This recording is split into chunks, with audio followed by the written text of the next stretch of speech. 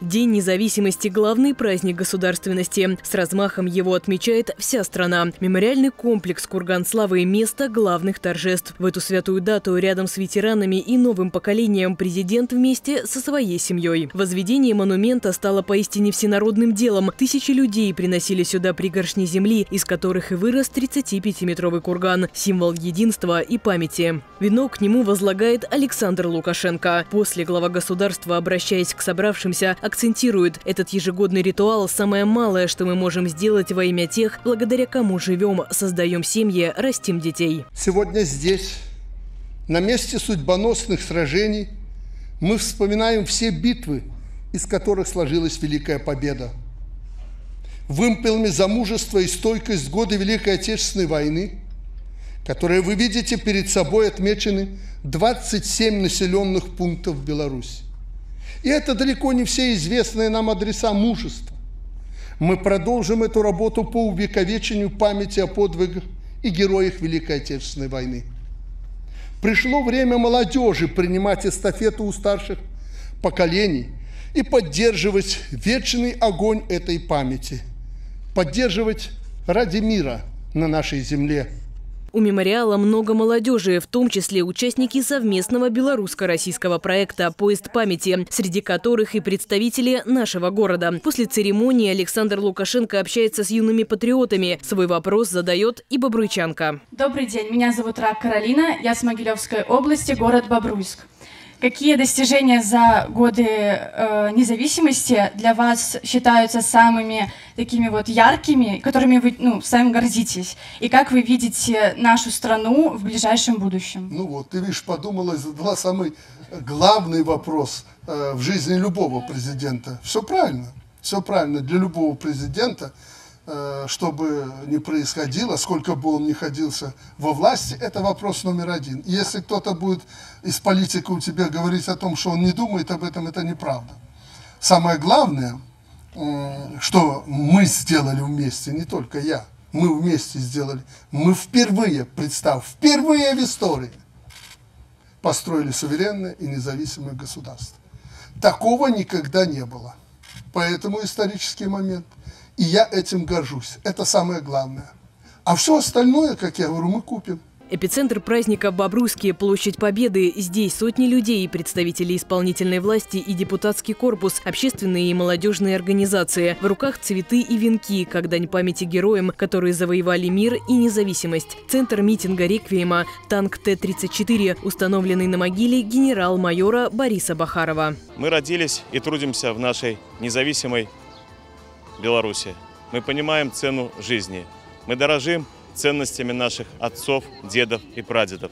Мы, белорусы, мирные люди. Сердечно поздравляю всех нас с нашим государственным праздником Днем независимости. В День независимости на площади и молодежь. Талантливые, амбициозные, они получили возможность реализовать свои планы в свободной и процветающей стране. Этим молодым людям писать новую историю. Уроки перед глазами. Главное – сохранить мир и чтобы место подвигу было только в учебе или на профессиональном поприще. Для меня День независимости, как и для любого гражданина нашей страны, является главным праздником, так как это день, когда был освобожден город Минск от немецко-фашистских немецких захватчиков, и окончательно наша страна а, одержала победу, освободилась и стала независимой и свободной. В этот день возлагают цветы и к братским могилам. У мемориала на Минской и территории крепости представители администрации и районов города. Страна имеет право и обязана быть сильной, независимой и мы должны сделать все, чтобы в современных условиях сохранить все то, что завоевали наши деды, приумножить для того, чтобы передать это нашим детям. День независимости в Бобруйске – это насыщенная и яркая программа. Например, представительниц прекрасного пола, которые любят управлять автомобилем, собрал конкурс «Автоледи», десятый по счету. Каждая из участниц прошла отбор. Главные требования – возраст до 35, права категории «Б» и собственная машина. Первый этап – презентация. Одни посвящают поэмы своему железному железному коню, другие поют песни, третьи и вовсе устраивают целое костюмированное представление. Впервые конкурс «Мисс Автоледи» был приведен в Бобруйске 4 года назад. По всеобщему мнению бобручан и России города, а также участников, всем очень понравился. Дальше экзамен на знание правил дорожного движения. Последнее и самое зрелищное – фигурное вождение. От габаритной змейки до разворота на ограниченном пространстве. За ходом испытания пристально следит жюри. Сотрудники ГАИ, ДОСАВ и представители БРСМ. Один из самых непростых этапов – диагональная парковка. Участница должна заехать задним ходом на территорию 4 на 6 метров. Чем больше габариты машины, тем сложнее выполнить элемент. Учитывается и время прохождения. День независимости – праздник, во власти которого весь город. В парке культуры и отдыха звучат песни о любимой синеокой. Но главная площадка – Бобруйск-арена. Здесь развлечения на любой вкус, как для детей, так и для взрослых. Концерт, выставки, игровые зоны, торговые ряды. Организации постарались на славу, чтобы никому не было скучно. Как у тебя праздник проходит сегодня? Здорово. Мороженое ела. И как мороженое? Вкусно. Я видела животных. Каких животных ты видела? Кроликов, хорьков, крыс, хомяков. А потрогать смогла? Да. И какие они? Приятные.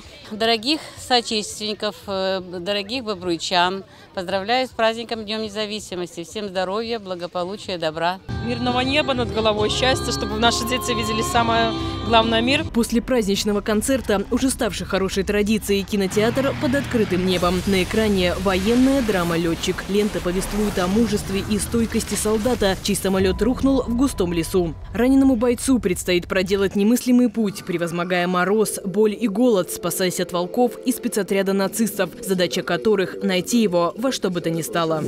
Кульминация праздничных торжеств – республиканская акция «Споем гимн вместе». Сотни горожан собираются, чтобы в унисон спеть известные каждому строки «Мы, белорусы, мирные люди». Этот проект стал хорошей традицией, которая объединяет всех жителей страны.